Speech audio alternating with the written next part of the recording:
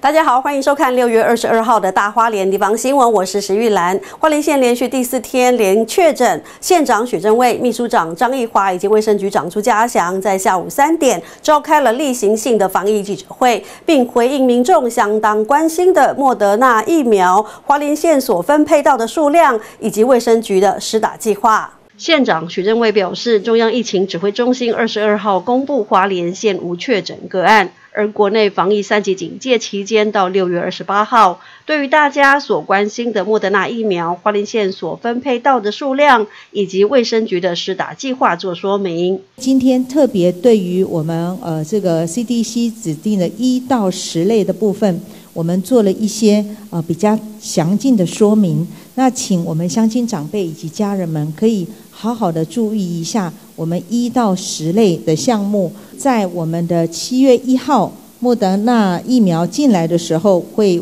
会在五之二、五之三呃的部分来施打，含矫正机关的工作人员。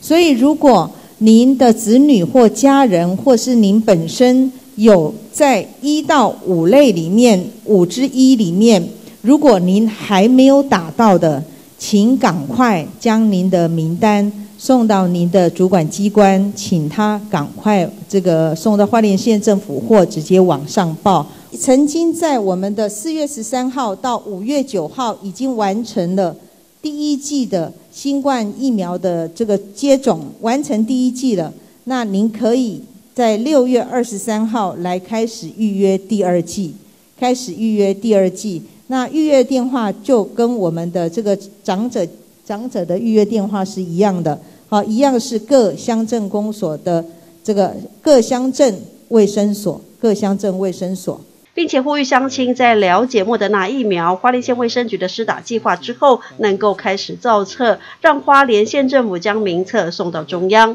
同时，也请花莲青年发展中心规划了相关的课程，让业者以及学生可以在疫情解封之后，能够有更充实的创业能力以及新想法。青山依旧在，好山好水都在花莲。呃，我们只要度过这一段困难的期间，